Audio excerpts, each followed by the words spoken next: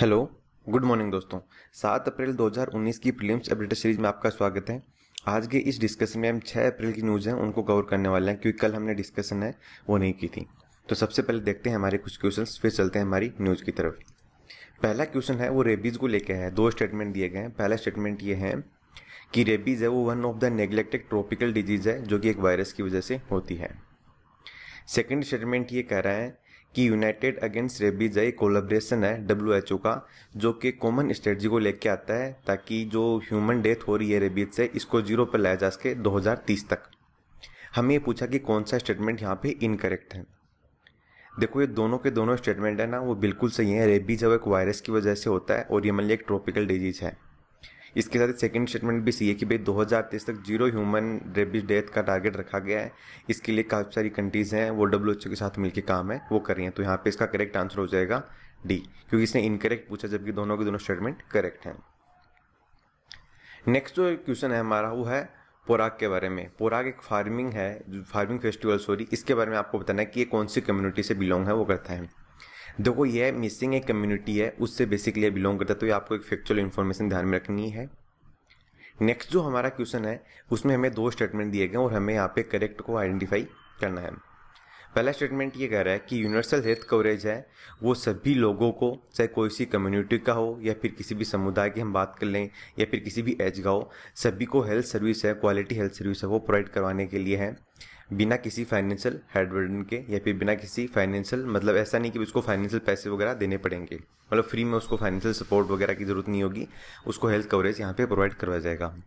Second statement ये कह रहा है कि अचीविंग जो यूनिवर्सल हेल्थ कवरेज है, वो one of the key target of sustainable development agenda 2025 अब हमें करेक्ट स्टेटमेंट देखो, यहाँ पे आइडेंटिफाई करना है। देखो, पहला स्टेटमेंट बिल्कुल सही है। लेकिन सेकंड स्टेटमेंट गलत है। क्यों? क्योंकि आपको पता है कि सस्टेनेबल डेवलपमेंट गोल के टारगेट हैं, वो तो 2030 के हैं, ना कि भाई 2025 के। तो इसलिए स्टेटमेंट यहाँ पे गलत है, वो हो जाता है। नेक्स्ट जो क्वेश्चन है, इसमें हमें करेक्ट स्टेटमेंट आइडेंटिफाई करना है कि इसको लेके petroleum and explosive safety organisation PESO P E S O जो फायर क्रैकर्स वगैरह पटाखे वगैरह होते हैं, वो भी बेसिकली इसी के द्वारा रेगुलेट हैं, वो किए जाते हैं। पहला स्टेटमेंट ये है कि यह ministry of chemical and fertiliser के अंतर्गत आता है। सेकेंड स्टेटमेंट ये कह रहे हैं कि इसका हेडक्वार्टर कोलकाता में है।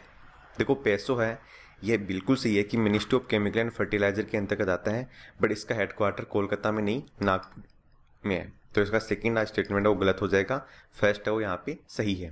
तो इसका आंसर हो जाएगा सी ओनली वन नेक्स्ट जो क्वेश्चन है, वो है इको मार्क एक सर्टिफिकेशन मार्क है, जो कि किसके द्वारा इश्यू किया जाता है? देखो, जो इको मार्क सर्टिफिकेशन प्रोसीजर है, ये ब्यूरो ऑफ़ इंडियन स्टेट के द्वारा इश्यू है, वो किए जाते हैं। तो उसका सी आंसर यहाँ पे सी होगा। नेक्स्ट देखते हैं आज की हमारी न्यूज़ मतलब कल छः तारीख की जो न्यूज़ है वो। पहला आर्टिकल है, वो है परचेजिंग मैनेजर्स इंडेक्स को लेके। क्या है ये, देखते हैं। देखो परचेजिंग मैनेजर्स इंडेक्स यानी पीएमआई जो इंडेक्स है ना, यह एक इंडिकेटर है कि भाई जो कंपनी है या जो भी एक तरीके सर्विस प्रोवाइडर है, उसकी हेल्थ कैसी है, उसकी इकोनॉमिक हेल्थ कैसी है। जैसे कहता है ना कि भाई इस कंपनी की हालत डामाडोल चल रही है, काफ़ी ख़राब है। उसी तरीके से जो कंपनी की हालत या रैंकिंग चेक की जाती है कि इसके अंदर किस तरह का काम वगैरह हो रहा है, कैसे यहाँ पे मतलब बोल रहे हैं कि इकोनॉमिक हेल्थ क्या है प्रॉफिट में लॉस में जा रही है, इन सब के लिए ये इंडेक्स जारी किया जाता है। इंपॉर्टेंट बात यह है कि यह मैन्युफैक्चरिंग सेक्टर और इसी के साथ ही सर्विस सेक्टर दोनों के लिए जारी किया जाता है। ये इफ़ेक्ट यहाँ पे ज़्यादा इंपॉर्टेंट है। कंपनी की जो करंट बिज़नेस प्रोसेस जो कंडीशन है कि कंपनी की डिसीज़न मेकिंग कैसी है, इसके साथ ही कंपनी का एनालिसिस कैसा है कंपनी के जो परचेजिंग मैनेजर्स हैं वो किस तरह के हैं, इन सब का पता चलता है। अगर कोई यूपीएससी यहाँ पे क्वेश्चन एक तो ऐसे पूछ सकती है कि परचेजिंग मैनेजर्स इंडेक्स है वो मैन्युफैक्चरिंग सेक्टर के लिए जारी किया जाता है। नहीं भाई, इसमें सर्विस सेक्टर भी इंक्लूड है, वो होता है। अब इंपॉर्टेंट बात है कि परचेजिंग मैनेजर्स इंडेक्स कौन पब्लिश करता है? देखो, यह इंडेक्स पब्लिश किया जाता है यूएस बेस्ड एक इंस्टीट्यूट है, जिसका नाम है supply management institute for supply management आई इसके द्वारा यह इंडेक्स यह जारी किया जाता है। नेक्स्ट जो आर्टिकल है, वो है section thirty five A A of banking regulation act देखो, ध्यान में रखना यूपीएससी इस तरह के क्वेश्चन पूछती है, कई बार पहले भी उन्होंने पूछे हैं। जो सेक्शन सॉरी जो बैंकिंग रेगुलेशन एक्ट का section thirty five double A है, वो बैंकिंग रेगुलेशन एक्ट है। जो कि इम्पावर करता है सेंट्रल गवर्नमेंट को कि भाई वो आरबीआई को इश्यू डायरेक्शन जारी कर सकती है बैंकिंग कंपनीज़ के लिए कि जो कंपनी बैंक करप्ट होने वाली है, फिर इंश्योरेंसी कंडीशन में आ गई है, उस कंपनी को लेकर गवर्नमेंट बैंक को बोल सकती है आरबीआई को बोल सकती है कि भाई आप इसको लेकर इंश्योरेंस एंड बैंक जो प्रोसीजर है, उसको स्टार्ट कीजिए।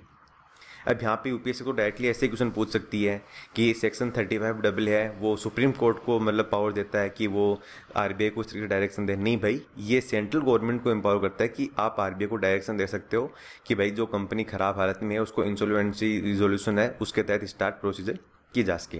तो ये कंटेक्स और इसी को लेकर भी न्यूज़ है, वो आई थी। बाकी तो देखो कंटेक्स दिया गया है कि आरबीआई को गाइडलाइन जारी की गई थी आरबीआई ने गाइडलाइन जारी की। तो देखो आरबीआई के पास अथॉरिटी है वगैरह, वो तो हमने यहाँ पे डिस्कस कर लिया कि भाई सेंट्रल गवर्नमेंट के पास अथॉरिटी होती है, वो आरबीआई को गाइडलाइन जारी कर सकती है, ना कि सुप्रीम कोर्ट वगैरह के पास। तो उसी को लेकर न्यूज़ थी तो हमें इसके बारे में ध्यान रखना है। नेक्स्ट जो आर्टिकल वो है एशियन डेवलपमेंट आउटलुक 2019 देखो यह है बेसिकली एशियन डेवलपमेंट बैंक के द्वारा आउटलुक रिपोर्ट इंडेक्स जारी किया जाता है। इसमें बताया गया कि भाई जो एशिया की ग्रोथ रेट है, वो 2018 में 5.9 परसेंट से ग्रोथ हो रही थी 2019 के अंदर 5.7 परसेंट से, और 2020 में 5.6 के अकॉर्डिंग ग्रोथ रेट है, वो होगी। तो देखो देखो डाटा दिया गया, इतना इंपॉर्टेंट नहीं है। बट इसमें इंडिया को लेकर कुछ बात की गई है तो ये में भी कहीं काम है, वो आ सकती हैं। इसमें कहा गया है कि भाई इंडिया की जो ग्रोथ रेट है ना एशियन डेवलपमेंट आउटलुक रिपोर्ट के तहत 2019-20 में इंडिया की ग्रोथ रेट 7.2 परसेंट से ग्रोथ रेट जीडीपी बढ़ेगी। इसी के साथ ये बात की गई है कि भाई जो 2020-21 में इंडिया की ग्रोथ रेट है, वो 7.3 के हिसाब से बढ़ने वाली है। इसके बाद में ये बताया गया कि देखो इन्फ्लेशन की बात है तो एवरेज इन्फ्लेशन है वो इंडिया के अंदर फाइनेंशियल ईयर 2019 का जो हाफ़ है फ़र्स्ट हाफ़ है, इसमें लगभग चार परसेंट के आसपास रहेगी। इसके साथ ही आरबीआई है, वो लोअर पॉलिसी रेट लेके चलेगी ताकि क्रेडिट को आगे बढ़ाया जा सके मतलब लोन वगैरह मार्केट में ज़्यादा से ज़्यादा मिले लिक्विडिटी ज़्यादा हो ताकि बिज़नेस ज़्यादा से ज़्यादा स्टेबल किए जा सकें। अब हम बात करते हैं एशियन डेवलपमेंट बैंक को लेके। देखो, एशियन डेवलपमेंट बैंक है ना, ये 1960 में बनाया गया था एक फाइनेंशियल इंस्टीट्यूट के तौर पे, जिसका मोटो ये था कि एशियन कंट्री के ऊपर फोकस ज़्यादा किया जा सके।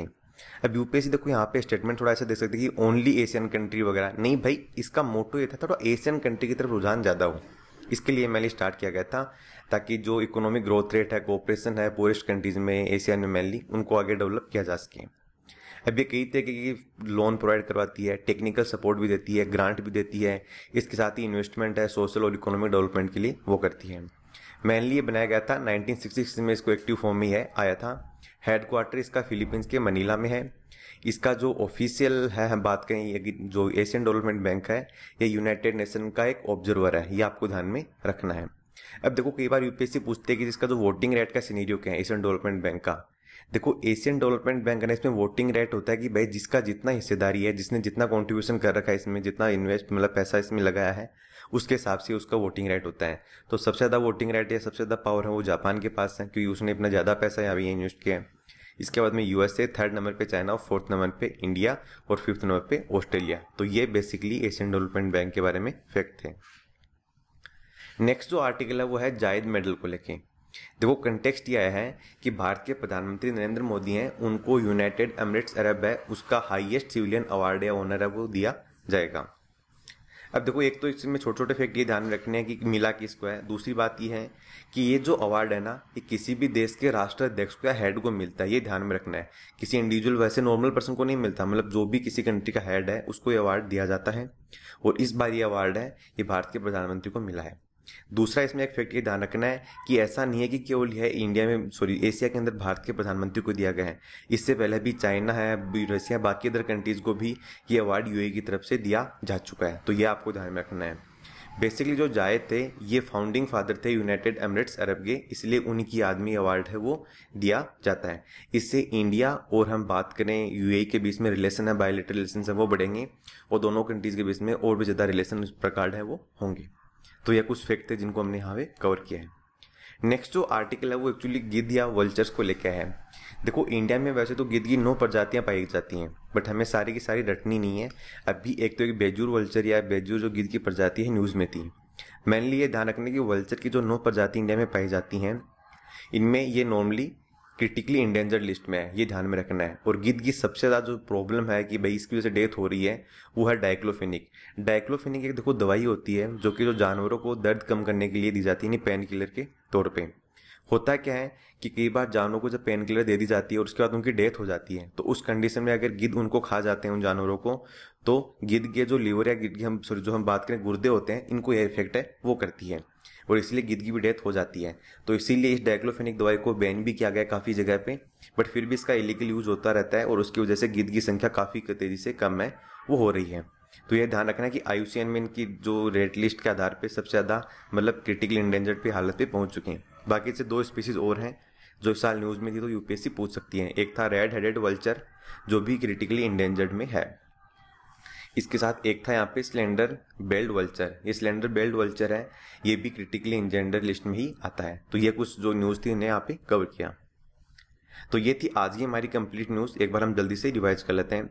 सबसे पहले आज हमने परचेजिंग मैनेजर्स इंडेक्स डिस्कस किया। इसके बाद में हमने आरबीआई का जो सेक्शन 35 डब्ल्यू है, उसको यहाँ पे कवर किया कि सेंट्रल गवर्नमेंट आरबीआई को इंसोलेंसी बैंक को लेकर गाइडलाइन जारी कर सकती है। इसके साथ ही हमने एशियन डेवलपमेंट आउटलुक रिपोर्ट के बारे में जाना कि एशियन डेवलपमेंट बैंक के द्वारा रिपोर्ट जारी की जाती है। इसके साथ ही हमने जायद मेडल के बारे में डिस्कस किया कि भारतीय प्रधानमंत्री को अवार्ड दिया जा रहा है और इसी के साथ ही इंडियन जो वल्चर इंडियन जो गिद्ध की प्रजाति हैं, इनके बारे में कुछ फैक्ट यहाँ पे कवर किए तो फ़िलहाल इतना ही। Thank you thank you very much for discussion